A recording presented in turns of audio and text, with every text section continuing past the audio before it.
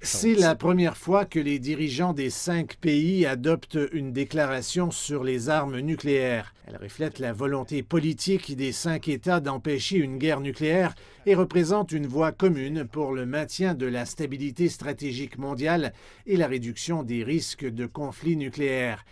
La Chine a toujours défendu le concept selon lequel une guerre nucléaire ne peut être gagnée et ne doit jamais être menée.